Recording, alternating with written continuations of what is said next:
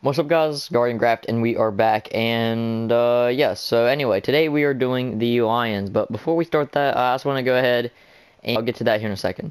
I made a waterfall right here, just kind of leading to the hippo exhibit, because I don't know, I think that waterfall just looks kind of nice. I don't know what it is, but it kind of makes it look a way cleaner going into that. And then also we got, uh, I brought in some trees right here, and I brought this path right over here, and uh, I made some umbrellas for these like uh, bench like for the seats to eat for people to eat because I made like another area over here for like people to get food and all that and uh, yeah I decided to add in some umbrellas and I did the exact same thing for the uh, for the food area over there. I'm just gonna call it a food court because uh, there's nothing better I can think. I just pretty much copied the design over to here. I of course did a few different things different uh, but uh, yeah so we got all that and uh, yeah anyway so the path leads through here, and this right here will be the lion exhibit. So I went ahead and just kind of marked it out a little bit, and I went ahead and built the path and all that, just that way I have a little bit more already pre-built, so it's easier to, you know, just kind of see what I'm trying to do. But the brown concrete right there will be um, the fence, obviously, and all the red will be like a um, the mountain, kind of like with the hippos. But here's what I'm gonna do. I'm gonna be using uh, these blocks right over here because I want to try and give this mountain a more of a kind of like terracotta orangish dull orange like effect while still trying to keep in some of the gray and all that. So that's kind of what I'm wanting to do for this exhibit. So uh, yeah without further ado let's go ahead and just time lapse working on this uh, little mountain right here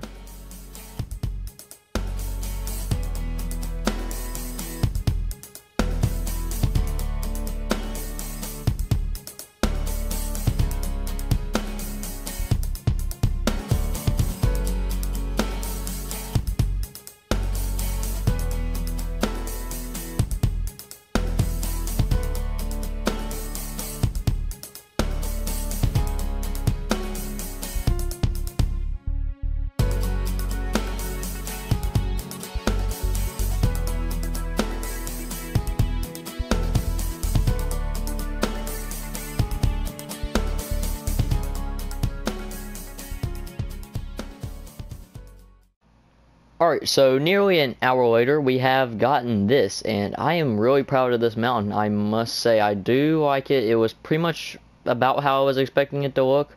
I do want to try and connect the mountain with this over here by adding probably like more stone and all that, just trying to make it shift better. But I do want to try to connect this up over here, just kind of fill in that gap right there. But uh, besides that, this thing looks really nice. I was thinking about adding more rock on the outside over here. But uh, I decided to change my mind, keep it 100% uh, stone on the inside. And I got inspiration kind of for this from the uh, my, not really local, but somewhat near me zoo, um, Riverbank Zoo. So they have like kind of like the lion exhibit. Uh, it kind of has like a straight drop down right here just to make sure the lions don't go down there. Then it has like a uh, area where the lions would hang out at and then there's just kind of like the uh, all sorts of like little indents in the rocks where the lines can lay but it's kind of like a solid color.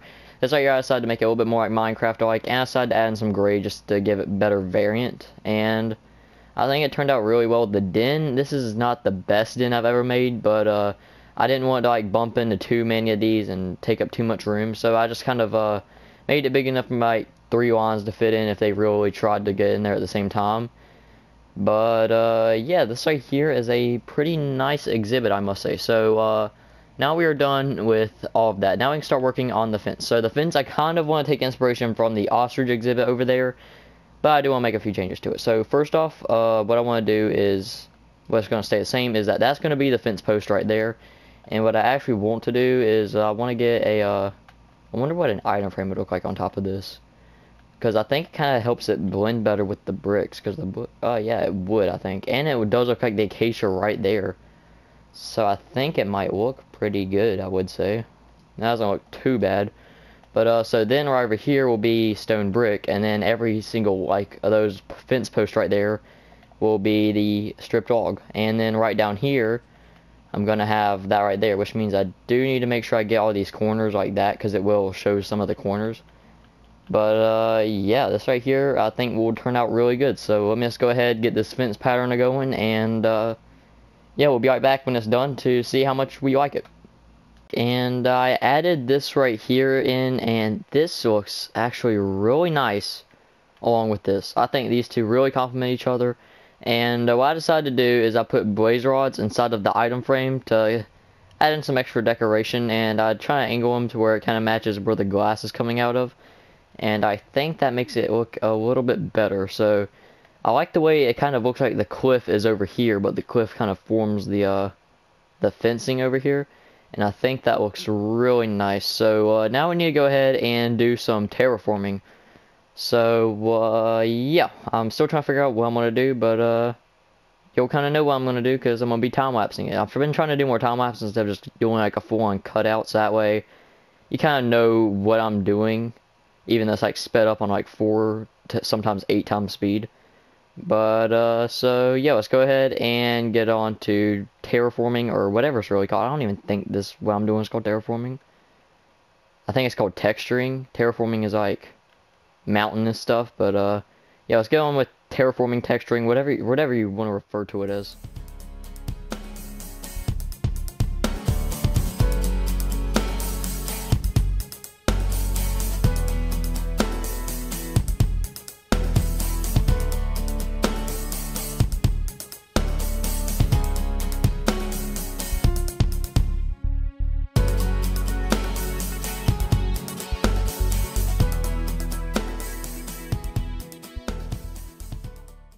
Alright, now this place is all terraformed up, and I don't think I put that in the time lapse, but uh, yeah, I did do that. I think I ended the time lapse, and I was like, do you know what, I want to add this in. I don't feel like, you know, recording that much, but all I really did just took took a bunch of slabs and staircases, just kind of angled them to kind of make the the watering hole, I guess I can just refer to it as, since it's like in a savanna, just to make it look more curved and shaped and all that, and that's kind of a mixture of gravel, andesite, coarse dirt, and granite down in there, and I think it doesn't look half bad. But so anyway, we need to go ahead and get going with these rocks and then the trees, and uh, actually, I'm just going to go ahead and add in the sugar cane around this over here. I think, yeah, let's not add in any sugar cane. I think it makes, I think it just looks way too green. But so anyway, uh, yeah, let's go ahead and start working on some rocks. So the rocks, I do have one thing. I do want to try to make a Pride Rock, kind of like from The Lion King, but not that massive kind of like a smaller one to where I don't want it to be too big because I want the guests to be able to like you know see this right here. They can look in there. So I want it to be about right in there. So I want it to be mainly out of stone just kind of offset all of that back there. So I want these rocks to be mainly stone and then some granite and all that just to kind of make it different from all of the background back there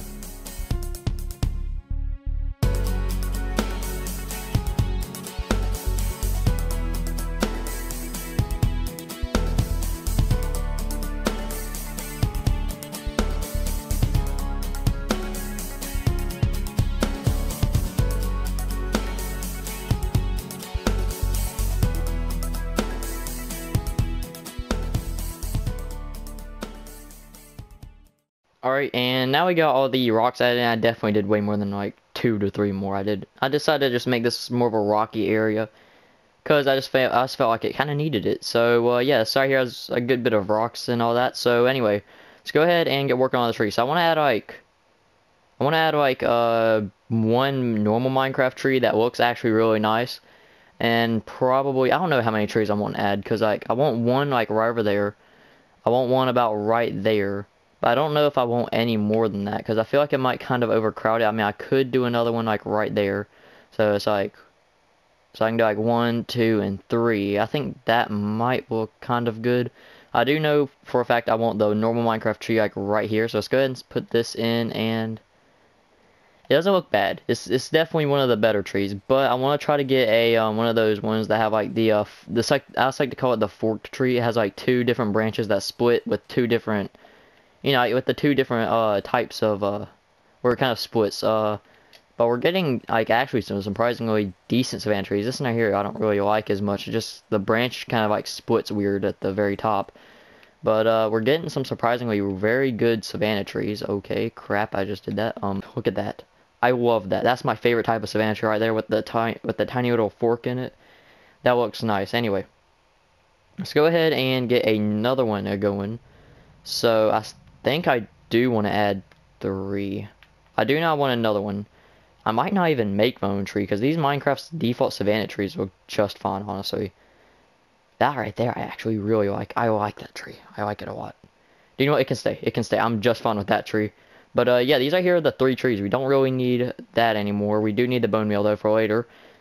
But now we can go ahead and get to adding in the uh, pretty much everything else. I'm just gonna go and grab everything I'm gonna need except for the except for that right there. So you know, it kind of leaves that still gives a flat vibe and all that. But now we need to go ahead and get a little bit of like I like to just refer to them as like tumbleweeds, but they can also be like like a dead bush as well. So now we are done with those two. And let's go ahead and just get the bone meal ready because we're about to need it really, really soon. So now we just got to add in a bunch of dead bushes, throw down some ferns and grass randomly on the uh, coarse dirt and all that. And then we can just use bone meal, make the double tall grass, and then also just bone meal on the normal grass. So yeah, let's go ahead and get to work on that. Alright, so now the exhibit is complete. And look at that. That looks, this area is honestly solid top 5 exhibit for me. This right here is definitely a top 5 exhibit. It probably would not be so high up on the list if the terrain wasn't like that and the background. But uh, besides that, uh, it's just a really nice exhibit overall. I really like the way it turned out and I really like the fencing as well. Like how it blends in with all of that. But anyway, uh, without further ado, let's go ahead and add in some of these really fast. So let's go ahead and get a lion in here the male of the group and uh, so there's only like I think one to two male lions uh, oh god, these right here are the type of things that do that, don't they?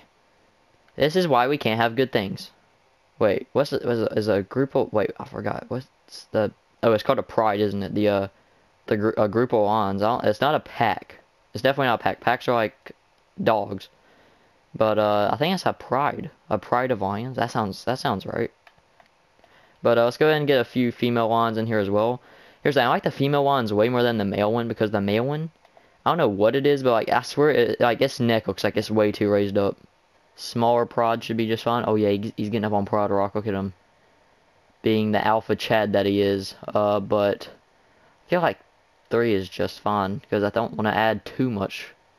I'd say three is just fine. One lion and two lionesses. But uh, let's go ahead and put all of that up. And remember, if you want to name any of these uh, lions or lionesses or any other animal that's in the series, just go ahead and comment down below. I'd be down to name them. Uh, you know, so uh, yeah. Uh, that was the lion exhibit. Uh, if you guys did enjoy, please make sure to leave a like and subscribe. And as always, catch you guys next time. Peace out.